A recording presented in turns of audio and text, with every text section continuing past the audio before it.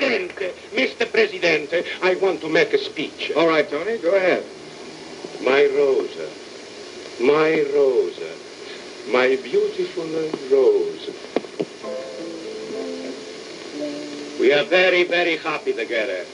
When someday along comes a blonde dame and she says to my beautiful Rosa, she says, look, how you like to have no more babies, how you like to make uh, no more cook, how you like to not wash the dishes, how you like to get the money every week, do nothing, and make the whoop outside. My beautiful Rosa says, yes, fine. Then uh, she sees her lawyer, and then, boom! And I, Antonio Morecchio, finds himself in this again while his wife country this is? You know what I do with this blonde if I see her.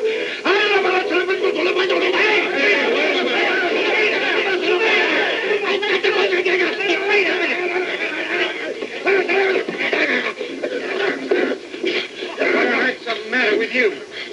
Hey,